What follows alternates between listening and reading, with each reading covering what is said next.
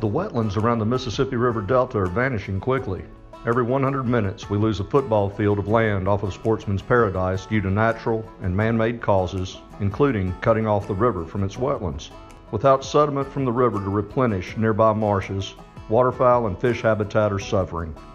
Bay Denesse is a shallow bay about two miles east of the Mississippi River where Ducks Unlimited, Vanishing Paradise, and our partners are using innovative solutions to restore 2,500 acres of coastal marsh. Today we're at uh, our Bay Denesse NAWCA project. Uh, DU was able to secure some funding uh, to come out here and do some crevasse work.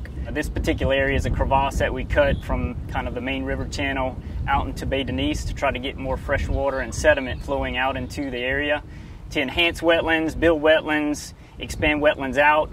Mother Nature's doing a great job out here building land. We're out here trying to further enhance what's happening by getting more fresh water and sediment out into areas that need nourishment enhancement.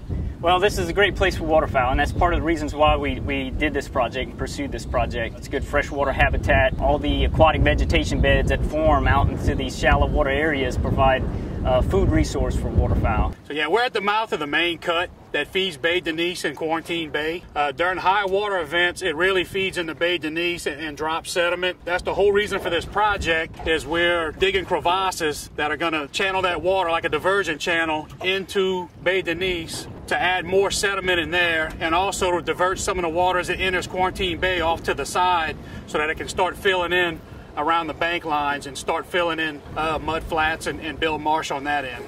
So the contractor has a bucket dredge and what they're doing is they're tying into an elevation that we had on the plans into one of these bigger channels off of the Mississippi River. And what they're doing is they're using that bucket dredge to cut a crevasse into the shallow areas to allow some of that sediment coming from this main channel into those shallow areas to help it build up a little bit better. This is just enhancing what's already going on currently. This is roughly enhancing about 2,500 acres of prime wetland habitat down here in the, the Mississippi Delta coast.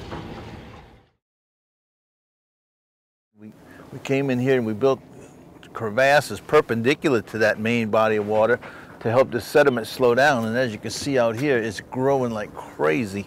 We have land as far as you can see all around us. So it's, it's really working well. It's building habitat for ducks and fish species. It's, it's just what we wanted. This is a brand new willow forest. This is, this is how the progression works. First, you get the sediment coming in, and when it gets just high enough, you start getting uh, emergence. Like uh, duck potatoes is normally the first thing that comes up. And as it grows higher and the sediment keeps going through duck potatoes and aquatic vegetation, it builds higher and higher. And when it gets so high, you start getting trees. It's a brand new willow forest right here. Look at them all. This wasn't here a few months ago. It's just like we always imagined. And now look at it. It's working. I mean, I love it. Look at this. This is what Louisiana is supposed to look like.